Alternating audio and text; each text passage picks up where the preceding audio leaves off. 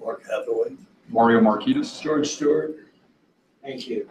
We'd like to welcome the airport board and uh, excuse Steve Gleason, airport manager, as well as Lonnie Woodward, who's an airport board member who are attending to, uh, Steve apparently is attending to family matters. More like law. That's Lonnie is attending to family matters after the death of his daughter last week. We extend our condolences to to this family. Uh, The opening prayer will be offered by Stephanie Detson, our attorney.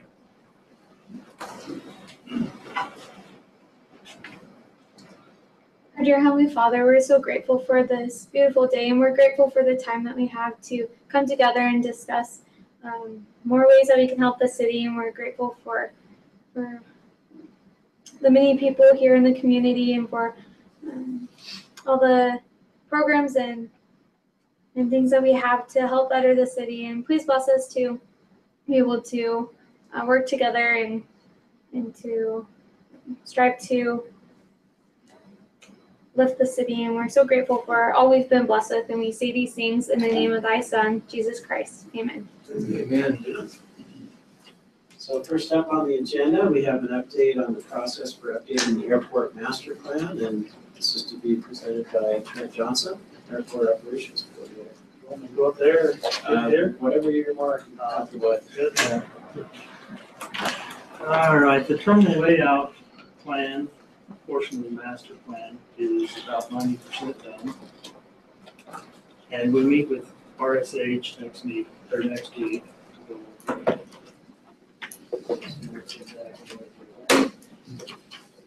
We're currently receiving quotes for environmental assessment for the terminal. And this may be a city cost of the FAA uh, discretionary, discretionary money. The Duncan Aviation is moving ahead with their campus. Currently, we're surcharging the area. Uh, They're gonna be breaking ground probably, well, I'll let, I'll let Bill. Okay. I, I did bring a uh, handout here just with some information on it for the city council.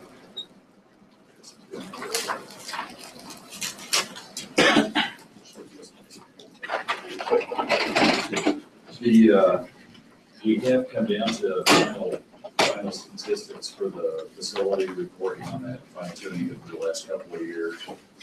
And uh, the final count is the facility will be two hundred and eighty thousand square feet. Uh, When we started this process in two thousand and seven, it was going to be hundred and twenty, so we're a little bit through there. So The uh, initial projection was a thirty million dollar uh, facility, we're now at seventy-two million. So it's going to be much larger than we anticipated. This will be the first phase. Uh, Probably long after I'm retired, there'll be a second phase of about the same size uh, added out there. We did finish preloading, as Trent uh, mentioned, we finished our preloading under the building pads in April. Rain finally quit, the snow finally quit, enough for us to get out there and slosh through the mud and get that done. But uh, we are, right now internally, we're on an accelerated schedule uh, that dirt has to set for six months, where we did get approval from the geotech engineers to not wait until that's finished to start our deep piling footings. So we're planning on starting those footings in August. And uh, probably about October 1st, about the time the dirt is finished settling, those pilings should be in place and then we can go ahead and do footings this fall. Trying to get those two pieces in place before winter sets in and then we can do it. Otherwise, the winter comes in early, we don't get those footings in, we'll probably be pouring concrete in spring, be the another two straight months. So that's kind of the, the vehicle update on the site. Um, We did receive our air permit, we have that in hand, we're still fine tuning the uh, land lease and uh, agreement with the city and agreement with the state on a couple other points, so. Good progress on it. All right. Can I ask a question? But I know that we're, I guess it's, we have some responsibility with that with the public works as far as the sewer and the water. And I wonder how we have a, our commitments are on those. Are we coming along and where we need to be? But I don't see, we'll have to get with public works, I guess, to get that answered I think appropriately. they was doing it this, this year. I know, uh, they were gonna put in the lift station, the sewer. Questar's already finished their uh, substation for the gas. Yeah. The substation out there for us. The, I- I don't know the current status from the public works standpoint, but I know the public works, city engineering have been having, uh, meetings that I've been attending all last summer, and fall with our architects. So I know that they're in sync on the timing of what needs to happen when to flow the whole project through. So, the whole of the details are, but I know which they're talking and they're in agreement, so. Then we've got a federal project, uh, with to rebuild taxiway Alpha. Uh, the bids have been out, uh, reconstruction should start this month. And that's, that'd be a great project to have done. And new corporate taxi lane with UVU parking lot will be construction begin this, hopefully this month. Do you know any more about that, Chris or Maureen? Uh, the UV parking lot right now, we're, um, uh, choosing an uh, engineering firm through, uh, DFCM, state of Utah. Um, the preliminary meetings have been held to be able to get preliminary bids to ensure that the, the appropriate amount of funding can be allocated for the project.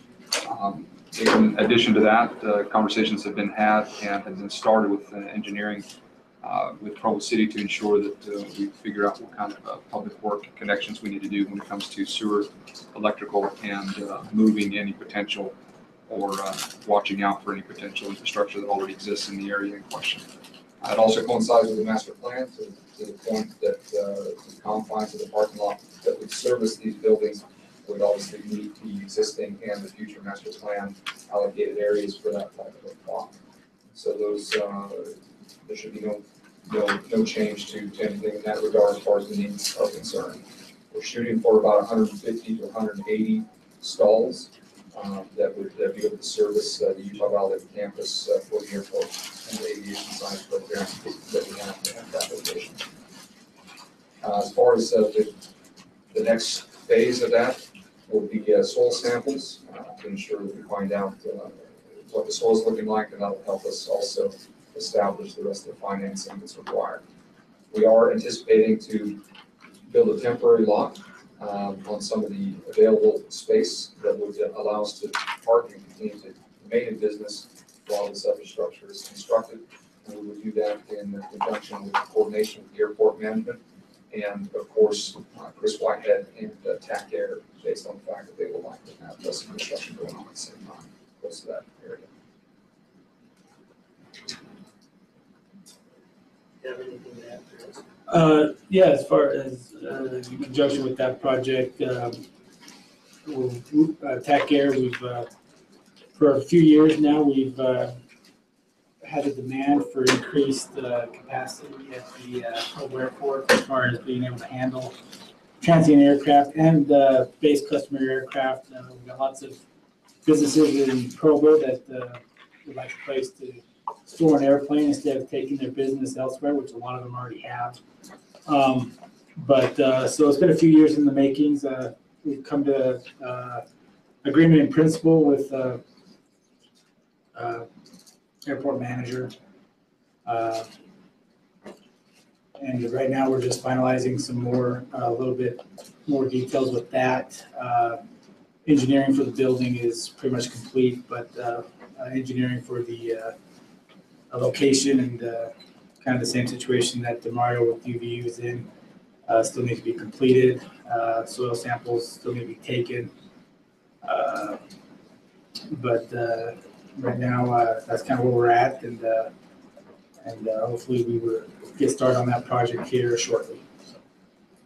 And Trent, I wonder, I don't know that everybody in the room understands why we have a need to build a parking lot. Maybe we should spend just a moment to clarify that. For you? or- Yeah, for us.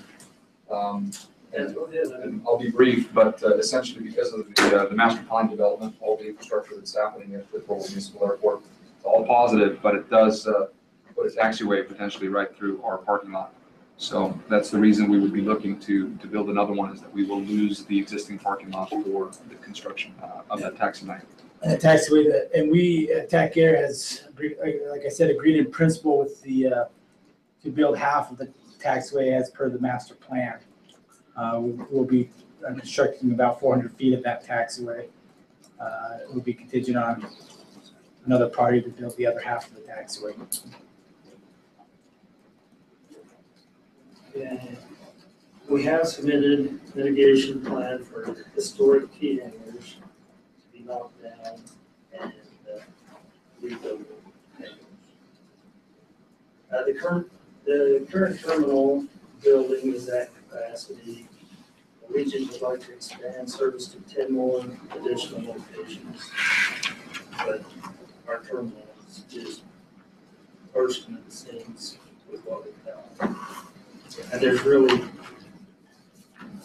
not a lot of good ways to add on. Um, How many flags are we? Ten a Well, week, today- Average, two a day, two days. two to three a day. And the two destinations I told you, they want to do them two times a week, and that the, they'd like to have two aircraft there at the same time. We got hundred and eighty seats, and that's hundred and fifty-six passengers.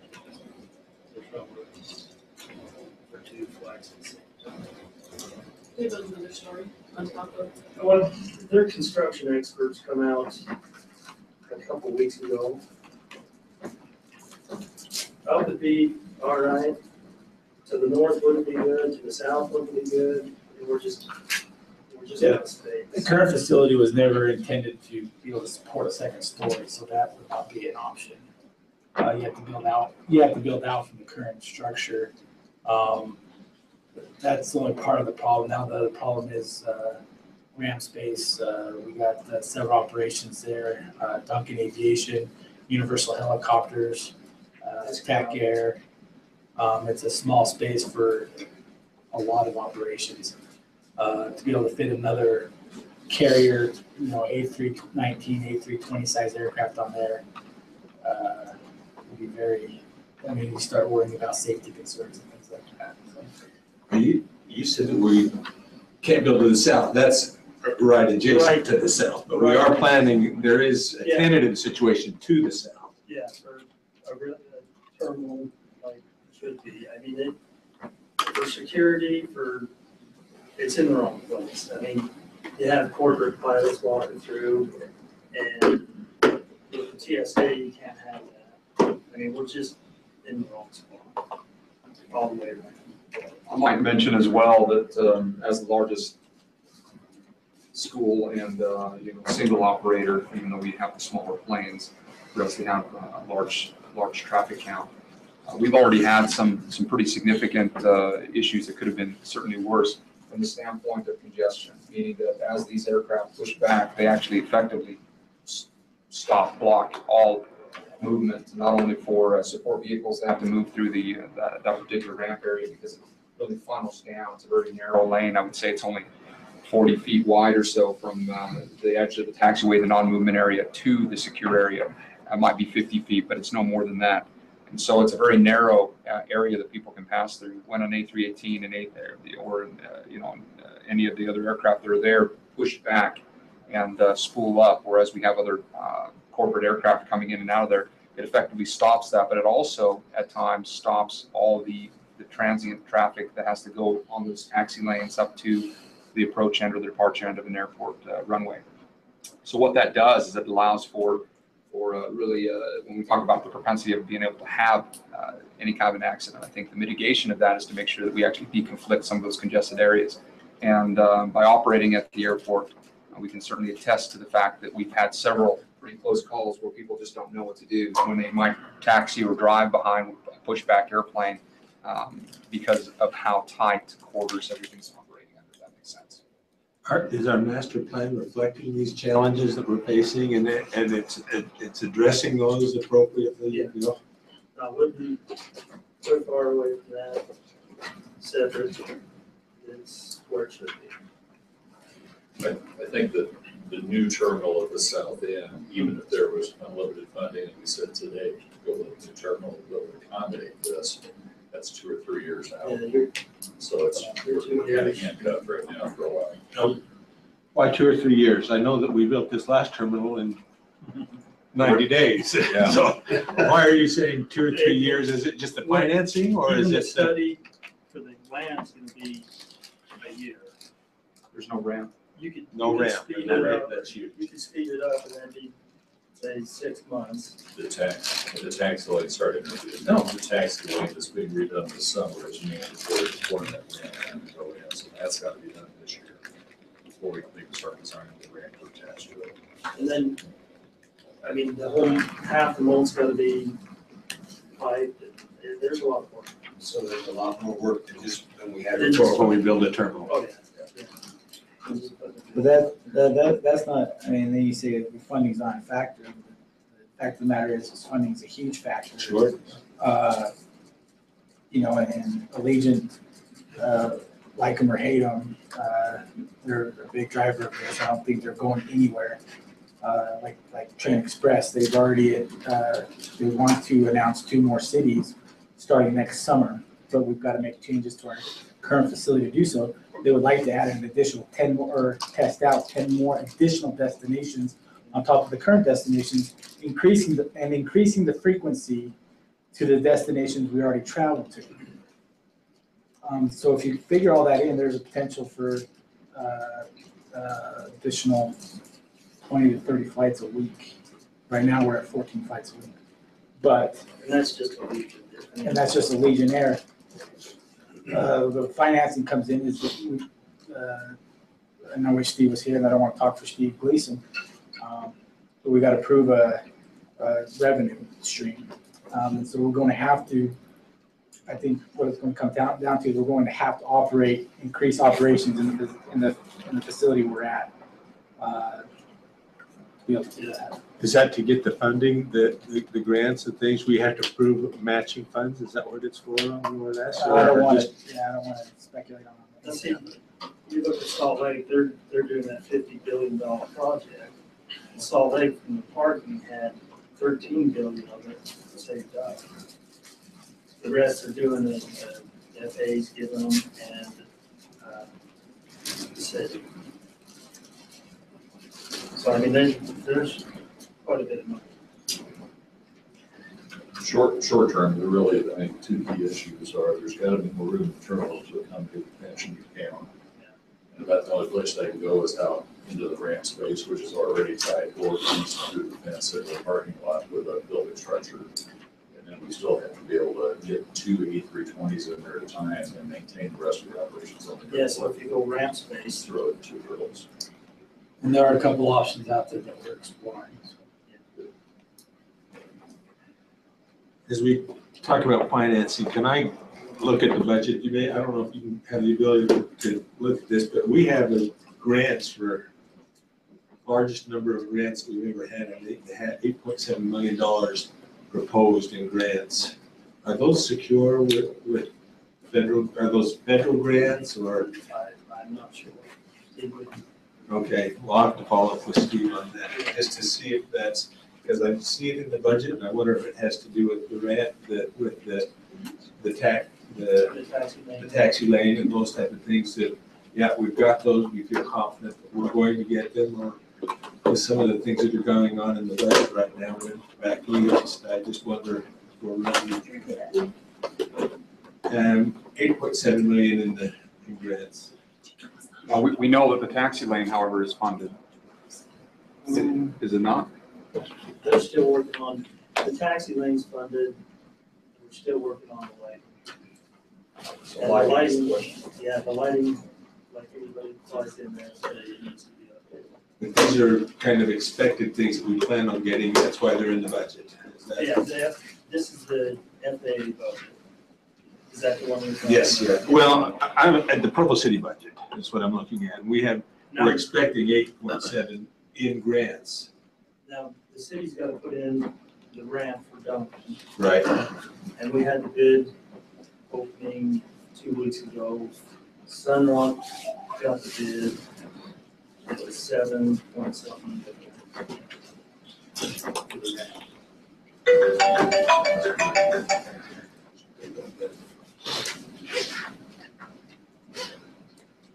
I, I believe, Trent, we're, we're also coming up to a threshold, Steve was talking just recently. I think it's at a hundred thousand employments, a hundred thousand passengers a year. You get into a whole new level of funding from the aviation. Right, right. So we're kind of at that sort of pregnant stage now where we need to get more people in the planes. That's where you're coming to, I get, that's, we gotta show it, so we can get it. That's exactly right. We have said, if, if the rent is how much did you say? That's, is that, Seven million. yeah, we got that in capital improvement? Uh, where are we at with our, is that, Seven million. How much do we have in our capital improvement for that? It's in a separate capital improvement fund. It's a We're separate- putting all of Duncan's expenses in one place so we can track them. So there's a separate capital improvement fund beyond the airport. That, okay, that's, because I was looking at, thank you. And we're still uh, negotiating litigations with the Provo River Delta for the birds. Uh, We'd like to make it as small, well, we'd like not to even be there, but as small as we can. Uh, You get a lot of bird traffic right across the approach end of our major runway. It's just gonna be Let's just keep showing the movie slowly over and over again. something. Show them bird strikes or something. Although you've done a Two. great job, because we have not had bird strike for a while as far as. Yeah, we- we have, uh, we have continual bird strikes, but they're usually smaller birds, starlings and the like. And we, uh, you know, we send that off, uh, the material to federal regulators to, to look at that. But the real issue is that, uh, these types of areas could actually bring in larger waterfowl, uh, and pelicans and the like that, um, would be, you know, doing their roosting and, and uh, those can do significantly more damage, so that's, that's the risk. And that's about all I got. Good, good, thank you. Do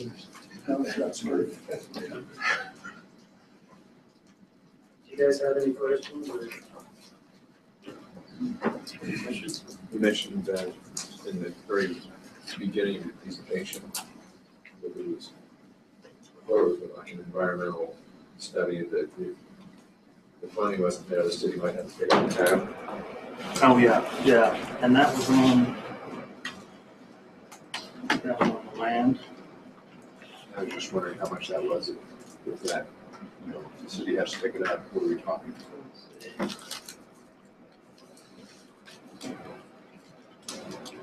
The environmental study for the terminal area.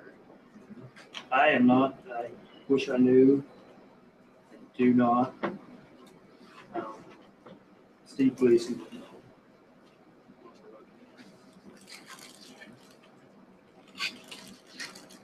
And I wish he was here. I know the phase one environmental work is all finished on our side, so that may be talking about new terminal site or something like that. I'm not sure. And that's what, that's what it is.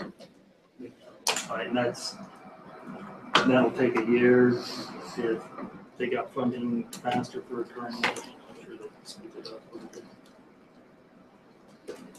And how much does our general plan include land that is not Provo cities at this point? Then we've got plans, Yeah, are you just planning the general plan for a property that Provo City has, or is it that, that we actually own right now? Would your general plan change if you had additional? Uh, I don't think the terminal site would. It, it, it's, it's really probably the best spot, it's away from everything. If you go in there, you're in trouble if you're not supposed to be. Um, And there, it, it would be the best place, security wise and all the way. around. But as far as other hangars or anything else, is there anything else that you think might change? Should we need more land? Should we have, own, if we were owning? more land? Um, No, I, I mean, the piece of property we talked about, right? That'd be a good piece to expand Duncan. Um, Yeah, I was gonna mention the, I think it's thirty-eight hundred west, just the road that will come in by Duncan. Uh, that right now curves off to the east into that property we were talking about. I think that, just discussion from my memory, I believe that was long-term plan to curve on around a rejoin center at some point for other businesses. And I do know Pratt Whitney is, uh, interested in something out the western US. and, Uh, the governor's office in the state are working with them on possibly locating an engine overhaul facility in the western US and trying to promote Utah. So land down there might work great, like that. The one we talked about. Yeah. Yeah, no, it, it would be, uh, by far beneficial. They, Brad Wood was talking about putting a shop within our new facility. They talked to, I think, Chris about the hangar that we're in right now, but I'm thinking they, they're realizing they need more space than any of that. What they would want to do. And a lot of the aircraft we work on are Pratt powered, it's looking a nice fit for us as well. Yeah, it'd be a good spot. So is that more for uh, bringing in business, but the operation of the airport itself seems to be adequate, but we're looking to expand for other businesses? Yeah. What I'm hearing. I think that'd. So when you talk about expanding for other businesses, I think that's really important because it's probably about a variety of issues. We talk about uh, low income, people can't afford housing. And part of that is there's still not enough good paying jobs. Yeah, and Duncan, how many do you plan on bringing in in the next? Phase, phase one will be about four hundred and twenty-five. And they're good jobs. And I imagine this other company would be somewhat the same. Well, if if Pratt came here for an overhaul facility, it'd probably be a hundred, hundred-ish, or something like that. But they'd be good paying jobs. Yeah. It's like you said, Bill, it'll drive synergies. Um, I think other businesses will come in to that west side, will want to anyway, even to support those. And having a Pratt engine facility on the airport here with the bird issue at North End might be an interesting. I'll it at that. So this next agenda item was an update regarding the status of Duncan Aviation. Have- Have we Yeah, Covered that. we Covered that. Pretty good out there. Really excited about what's happening there, by the way. Good. To fruition of many, many years of work was getting close at hand here. Um, The next item was an update regarding on-site development Have we We, I think we discussed that. So we got a little extra time here for any additional questions or discussion. Question. I'm not sure how to phrase it because I don't know all the aviation terms, but I just know that when some flights can't take off because of visibility issues, some of the, um, either private or commercial flights because of visibility, um, they have to go to Salt Lake and fly out. Is there a way to have that kind of technology at our airport, or is that just so far beyond our Uh, capacity we to can be do able to fly without the, There's so many, just instruments or whatever? yeah, there's so many things that we need before that, that, that's quite a, quite a ways down the list. They've got what they call rabbits and, uh, We used to, have it. what's that? we used to have it. What is it? Yeah, there was a rabbit system at one time, but uh, when they did the uh, runway extension. they- Take it out. But what you're talking about might be more like a Cat two approach. Basically, it's a semi-automated uh, approach. That's, that's pretty expensive for a smaller airport. I'm not sure if you know anything more uh, or heard anything about that, but We're we're full ILS today, aren't we? yeah, we have the ILS and everything else. On the It's really one coast, just, but we had that, that's on the other. Yeah. Is it two hundred and a half? Ceiling visibility? Yeah. Standard. standard. Now, what's ironic is we still get quite a few diversions from Salt Lake. So it's, uh, for different reasons, typically it's wind, wind shear related. We had a number just like a couple of weeks ago. Yeah, we had eight, eight of them down there. Yeah, eight, eight conversions, one southwest, one skywest, and the rest delta. Okay, that's cool. And we all land thirsty. Very thirsty. So is, does uh, diversion generate income for the airport? Yeah, it generates income in the way of uh, fuel, fuel flowage fees paid to the airport by TAC Air.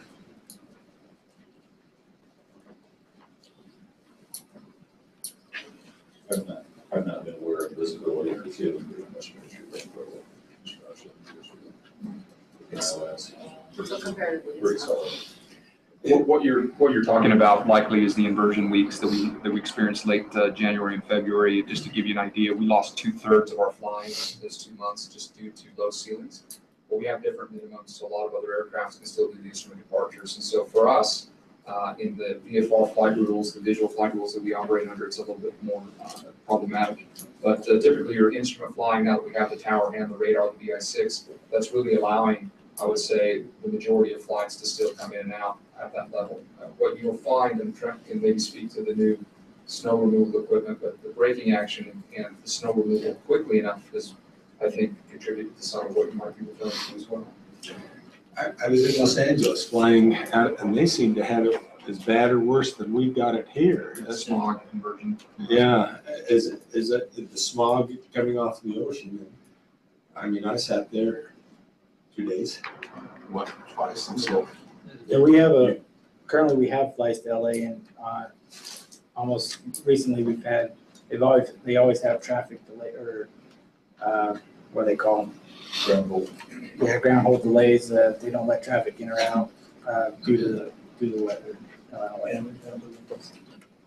You raise a great point, though. There's a big distinction between your operation of training and educating pilots versus experienced people flying aircraft and for airlines or whatever else. You have different environment. And the single, single biggest contributor to being able to, to bring these airlines in and the commercial uh, traffic, uh, corporate traffic that Bill works with, really was the radar and the tower, of course, as well. But that radar allowed uh, for, for sort of separation and, uh, and knowledge on board the other aircraft of where those transient flights are, and of course, the training flights. And so, right now, there's a new uh, push for ADSB, which is a new type of system where we are all going to be empowered with the type of information from these smaller airplanes. And, uh, and that's really a big push that, uh, that we're all uh, getting on board right now. And it's also a mandate for the entire country by 2020. To that also address your issue, uh, there, we did, and I, uh, I don't want to assume anything, but we did have a high profile event with the BYU charter last year, uh, that was not able to, I can't remember if it was able to land or take off from the airport. But they had to, uh, bus the BYU, BYU to, uh, Salt Lake City. Uh, but that was not necessarily a fault of the airport, it was the equipment on the aircraft itself that was uh, not functioning properly, which was, didn't allow that to happen. And that was, I know that's pretty high profile. And we're getting, uh, yeah, it's a high broom for snow removal. It should be delivered this month. And we've been using the loader with the broom, and it's made a world of difference in Really has, plus the new aggregate on the new runway, since it was Yeah. resurfaced, is uh, a lot less conducive to ice buildup. Um, It was a really coarse runway, which was great for wicking water, not so great because it also held ice um, when, when those conditions. So I think the combination there, Trent, should be a good winter next year. Yeah, we didn't have to close down at all this year. The airport was open. Other than this. year. And this should be a great piece of equipment to help that out. That ADSB system you referred to, we've got two of those in the hangar right now that we're doing first time anywhere in the world on a Challenger three hundred and Challenger six hundred. So they're starting to hit now, at, hit the service center level. Yeah, Let's get those systems installed. we have a goal to be uh, ADSB compliant by the end of 2018, so two years ahead. And and the reason for that is that it's not the mandate that drives, it's really the safety, uh, what it provides. Um, Imagine everybody having essentially radar on board. Uh, That's essentially what it is. It's just not as good as radar from the standpoint that if you have it off, you won't be able to see anybody. But it's the mandate is that you always have the signal it sends out. So it's essentially a radio frequency of sorts that's sent out by all aircraft. That's the mandate. And the operators like us, and of course, all corporate airplanes would be able to have a receiver where they can have in and out. So they would be able to see everybody else operating around them. And it'll dramatically increase the safety as far as incursions, in-flight incursions. and the risk that uh, comes with that. So we're, right now, the control tower is doing that, but Well, we in have, the uh, future, it'll be the planes that will actually be communicating. correct, so the tower has a BI six radar which operates on, on the same principle, uh, meaning that it's a, you, you have something called a transponder that essentially it does what it sounds like. It sends out a signal from each airplane. That BI six will basically, it's not a, it's not a radar per se that actually sees any kind of reflection from a metal object or a large object, but it'll actually see that signal. The tower helps with se- separation, but we do operate still with some visual flight rules outside of that environment in this area, unless you're coming in on an instrument flight. But the problem has always been that the radar from Salt Lake can only see down to 8,000, 8,500 feet because of the point of the mountain. So the BI six allowed us now to be able to have this um, ability for these aircraft to see each other below that, and that's, that's been just a phenomenal, you know, huge, huge impact on us. The ADS-B will now be the same type of system, but what happens is that every aircraft will be sending and receiving those signals as opposed to having to funnel it through the, the radar, and that will, uh, that will greatly increase, uh, the information that pilots will have for, for avoiding other aircraft.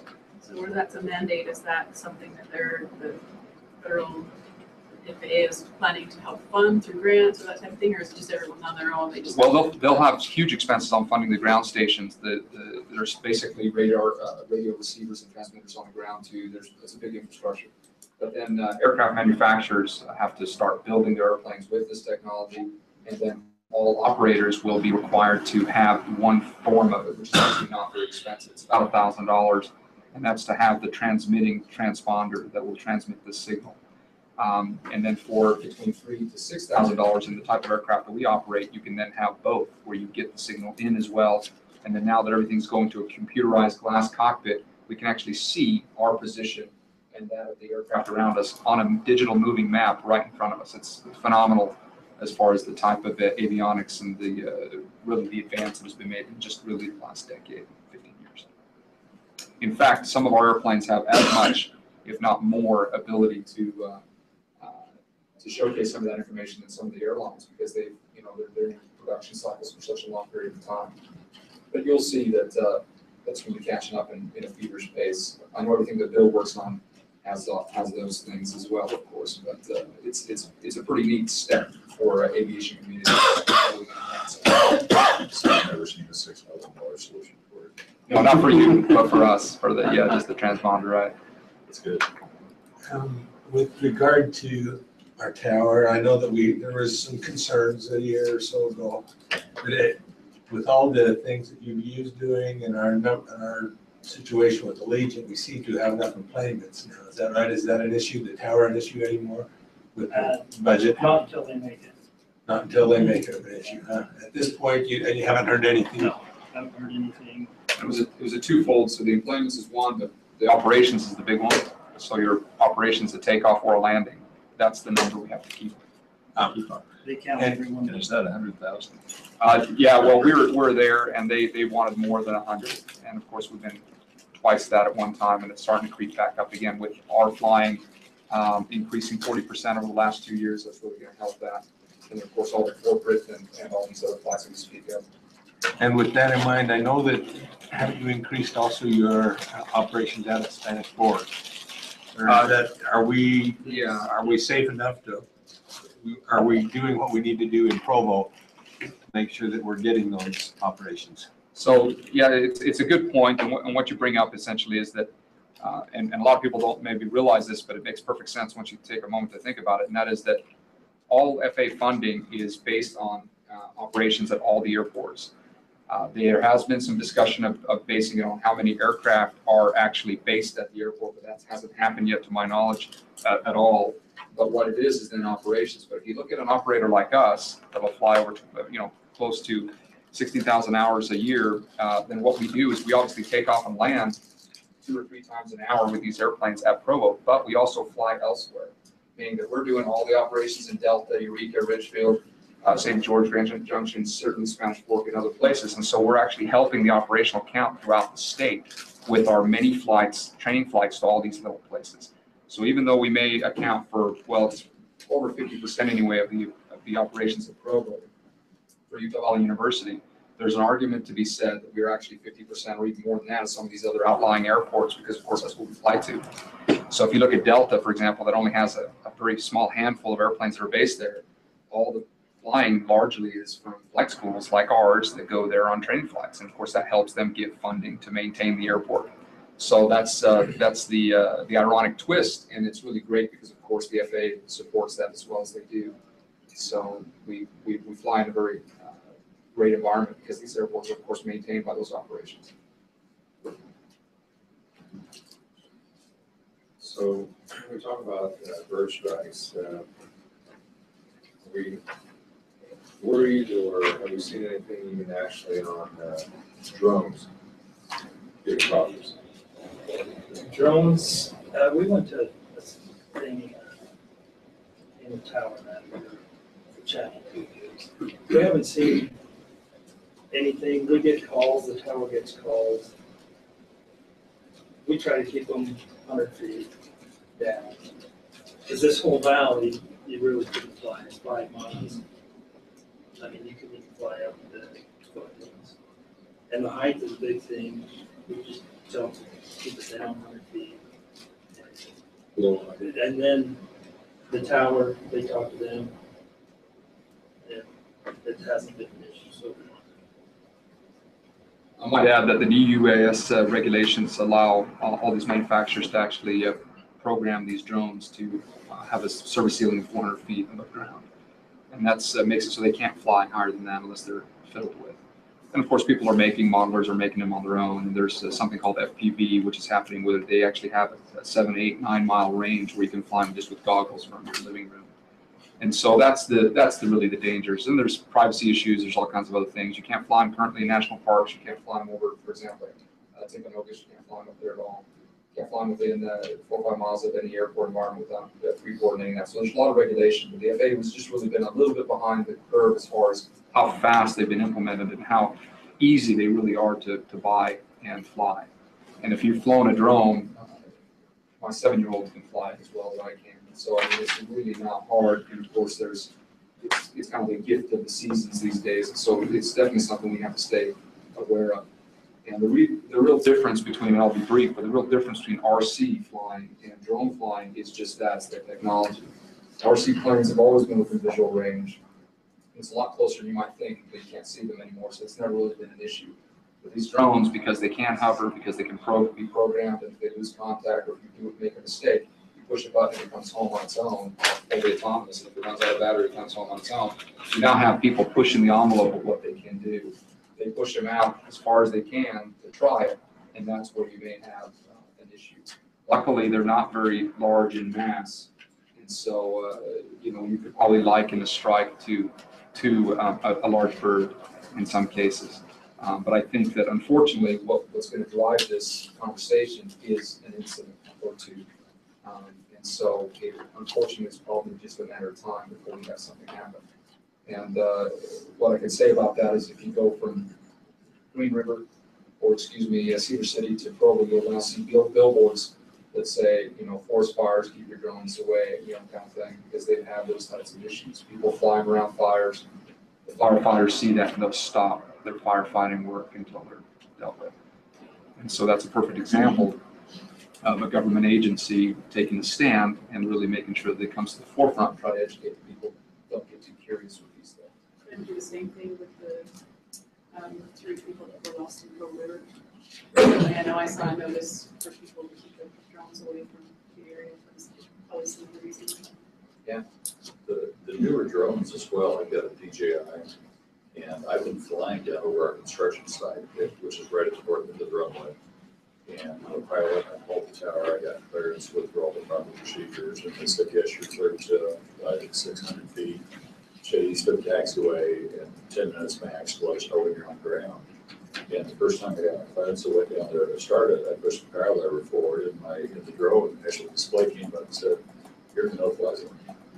Done, done, you do, it's not going to fly.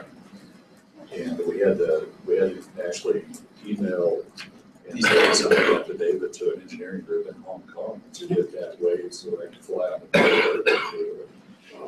So, and I, I did ask them, I said, what if I've been off field and been flying towards the airport? And they said, if you get that three or five mile wind, it would have given you the same air. If I didn't respond to them, it was going shut down. So Neuralink has some pretty neat technology in there for safety around airports. It's frustrating. Apparently, it can be bypassed huh? some way, somehow. Only if you call Hong Kong and send them your driver's license and all Okay, your. it's systemation. Firstborn. It's a great question. Thank you for bringing it up. Is there anything else that you find is a a big concern for the airport? What's your number one worry what keeps you up at night? Is there anything that, you know, is, is everything's pretty, pretty good otherwise? Uh, I'll speak briefly from UVU and then give it to Bill, but uh, what we've always noticed is that being at the outskirts of town uh, and the low point doesn't just mean your water pipes burst um, uh, and, uh, and things of that nature, but, but you really are out, uh, kind of out, out of the view of the public eye. And so for us, with all the students that we do, that we have out there, and we fly seven days a week, we fly till midnight or one o'clock in the morning, start flying at five thirty or six in the morning as well making sure that we have lighting, that we have regular patrols, that we do these types of things is really important for a university environment because there are a lot of people that that's where they tend to to go to to get away from the city and yet they can't go any further than that Dyke Road. And so we do see some traffic. Uh, and so the type of infrastructure, the developments that are happening with Duncan and everything else really makes it more of a populous area. And I think that that's going to bring some, uh, you know, some professional attributes that we certainly would, uh, would welcome. So the parking lot, the infrastructure that's happening and some of these other things, I think is really, really gonna help with that. We've never really had a, a, a big issue, but it's, it's definitely something that, uh, you know, that we, that we look at as, as, as being an area that, that can be, uh, you know, further, further supported. And we do what we can with UVU by sending regular patrols down there nightly, once or twice a night as well from Utah University. And, uh, and that helps with, uh, with making sure that we keep a secure environment and, and keep everything safe. So that's a, just little something from UVU, Bill. I would say it- this doesn't impact Duncan directly, but hangar capacity on the field uh, needs to be bolstered with the new taxiway that we were talking about earlier. There's plans for, I think, eight or ten new corporate hangars. But just talking to customers and clients and people around the area, uh, a lot of the small aircraft are moving to Spanish Fork because there's just no room. On Provo, I think Provo City in thirty new T hangars for one seventy-twos, they'd all be leased before you probably broke ground. There's a, there's a demand for that. So when you say invest, it's gonna cost money, but what's the, re- what's the return on the investment? Do you, do you actually make money on that? So I'm just familiar with like the Lincoln, Nebraska setup and, and yeah, the city built the hangars at their cost. They own them and I think they lease them for two hundred a month. Here's a little more than that, Trent. Yeah, we use our newer ones. just pretty much. I mean, if you do a, is it the yeah, with, with any kind of amortization, there, you would definitely be paying that off. I mean, you look at the hangars that are there now, look at the financials, you'd see that not only are they paid off, but of course, that's, that's money, that's one of the revenue streams that the city has.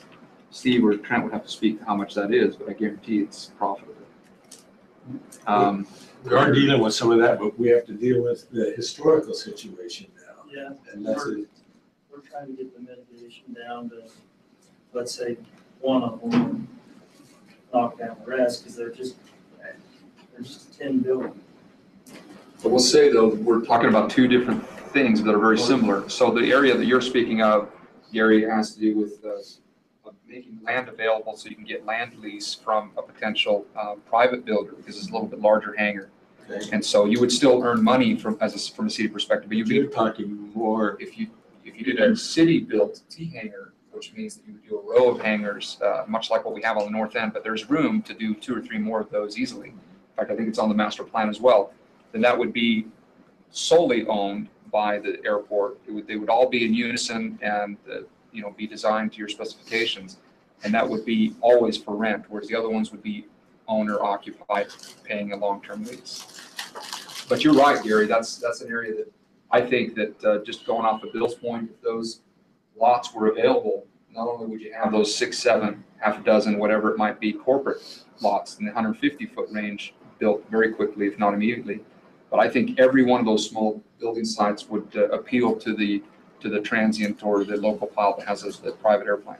is there, are there private companies that actually do that, that work together with the municipal airport where if a private person wanted to do that on their property? Or is that become really tough because of all the restrictions, the FAA and I think you'd have a fight between the, and I don't think you could go. It'd be City pretty wants tough. them, build them, and- or lease the whole property out to a private company. but All the T hangars down there right now is sitting on. Then, then the city will- Long, long term as well, I think it's better for the city to have full control of that. And it makes sense. I just wondered if there's any opportunity. You're talking about private property? A pri, no, a private company coming in and actually leasing and building them and then leasing them if they wanted to do that. But then they have to attach to our airport and it becomes tough. There's some minimum standard regulations too, uh, for TAC Air and, and the other, uh, commercial, uh, operators to be able to handle that. But, uh, if you, if you're speaking of a, a private company just to simply build them and then sell them off or something like that, that would be, that would be maybe different. And other airports like Spanish Fork, it's kind of the model they take, taken. They basically said, you know, I want to build a hangar and I'm going to build two more and sell them. Because I'm in, I'm already, you know, mobilized with the equipment, I can get the steel cheap or whatever it might be that they're thinking. Um, I, I think though, Trent, the lots that are- would be available are, are, they're, they're not adjacent to each other and it's just kind of piecemealed out. And of course, once you get into that corporate level, you're talking multi-million dollar infrastructure and although it might be the same company that builds them, it's all very specific to the specifications of the owner. I think there's a lot of ways you can do it. I mean, whether it's private or, or public, I mean, you talk about return on investment, well, the fact of the matter is there's just no space available right now for even somebody privately to come in to build something. I mean, you gotta have, this, the city at one point's gotta invest in putting infrastructure in such as taxiways and whatnot. Or private company such as, uh, what we're doing right now with TAC Air, you know, we're gonna be building a taxiway for the city uh, to be able to put a hangar and build a hangar to help accommodate the huge demand that there is at the airport. Uh, Bill's absolutely right, and it's a great point. Mario's absolutely right with his concerns with uh, security uh, at night, uh, the avail- availability of law, enfor- law enforcement during commercial flights. Uh, I know that's been, uh, it's been great as of recently. There, you know, but I know that is uh, straining the resources of the Provo City Police Department to do that. Uh, But uh, that really is, uh, And the fire department, right, chief? I I guess appreciate all you do for us as well. Um, But yeah, as far as, you know, you ask what keeps me up at night, I mean, it, it's what I've already expressed to you, the, uh, the number of operations we have in one confined area of the airport. Um, I don't know if any of you guys have had the opportunity to fly out on Allegiant, see the parking situation during a flight, when we have multiple flights. On the street side, um, you know, you always worry about people getting run over. Uh, and then ramp side, you know, uh, the, the possibilities and risks associated with, uh, with that are ever increasing. Uh, so far, we've done a great job of, of mitigating those risks and, and having a safe operation, but as we keep, in- keep increasing these things and not, not building the infrastructure necessary to accommodate growth at the airport, it's just gonna get worse and worse. We uh, have a resident that wanted to ask a quick question. In the courts, Williamsport Greenhouse is up by the airport. They explored for a while the idea of building an air freight facility um, in conjunction with Hughes, the people who have the, the herb company, who they're related to. They told that the city would not um, allow the fence operation for anything like that. Has a question like that been brought to the airport board? That ever been Yeah, discussed? Through the fence has, Has the airport board considered that? Uh, The the through the fence operation has to have, uh, there's, there's a couple of things that, that you have to think about there. Um, There's been talk of that even with what ends up now being Kenny Seng Construction and, and the predecessors there is a helicopter operation, Silver State. And, uh, the one prior to that, which is Rocky Mountain Helicopters, and sold off and portions of it moved to Colorado. Uh, the whole idea of a through the fence operation to be successful would mean that you actually had an adjacent infrastructure that made sense to be able to get that product or service literally through that fence um, uh, and onto the airport via taxiway or whatever it might be. I don't know exactly what they would propose. Am I understanding is they propose to be able to ship plants and things that they produce? Separate freight company? Separate freight company. So my question would be, why wouldn't they just be on the airport? Why would it be on, through the fence when there's plenty of ground to lease? Um, It's supposed to have it adjacent to the airport property.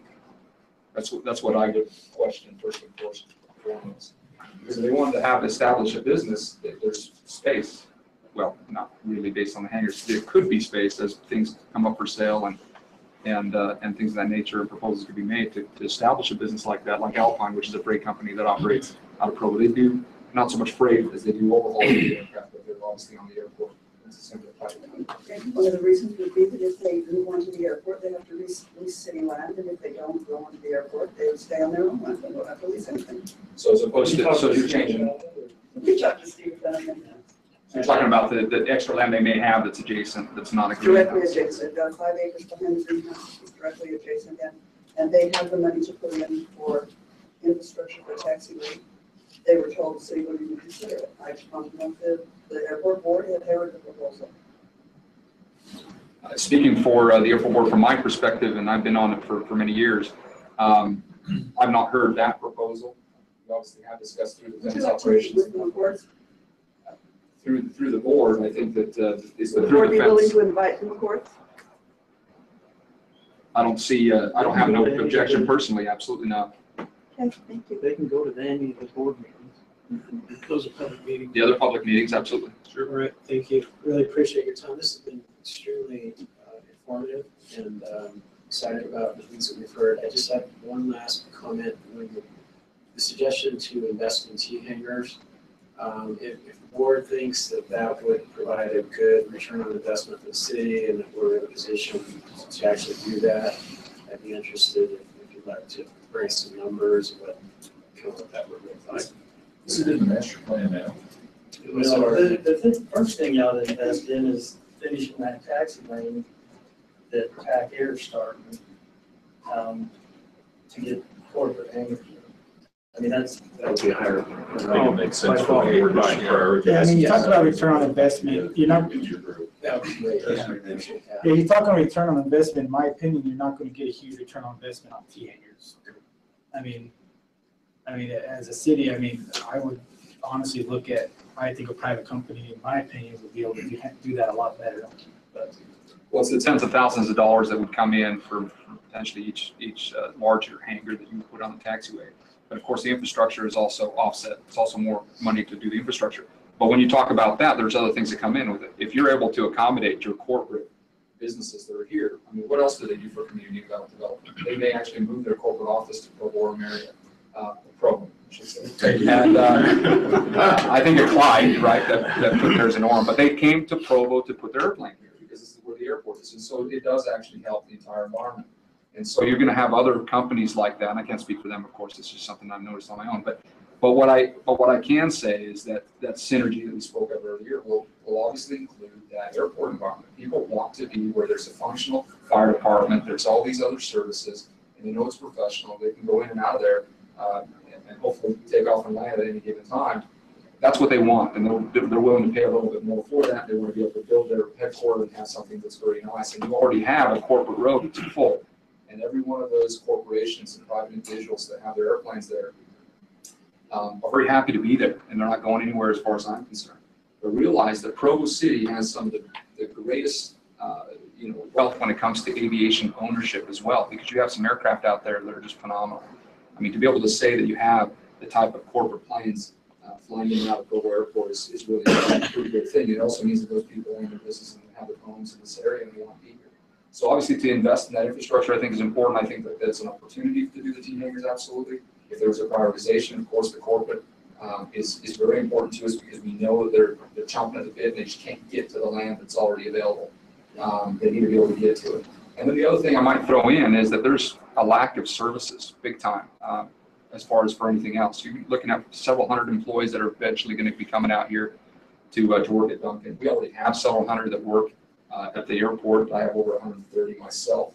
And uh, me tell you where they go to eat lunch or where they go to, uh, to do any uh, of those other types of things. And uh, there's opportunities there, I think, for some other developmental support on the west side of Provo City, especially now with the, the West Side Connector and any other improvements in Provo High. It's gonna be interesting. I think it's all gonna be, uh, you know, pretty positive in the long run for, for you as a city. Great, thank you so much. And uh, Bill made a good comment there. I- If there's some of these things that, some of these investments that you think we should be looking at that we, that we aren't right now, if you can kind of give us a prioritized list to consider, that'd be great.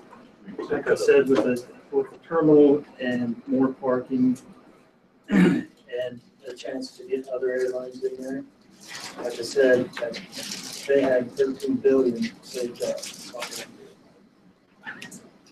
All right, thank you so much for joining us today. Thank Really you. Appreciate it. Appreciate the invitation. We have to